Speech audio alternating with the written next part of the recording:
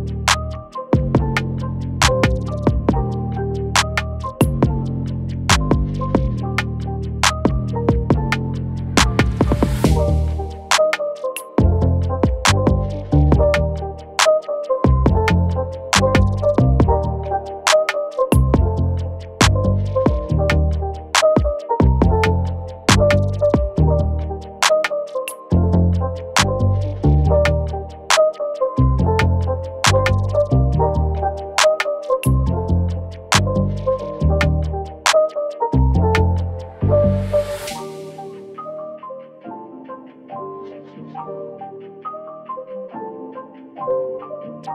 you.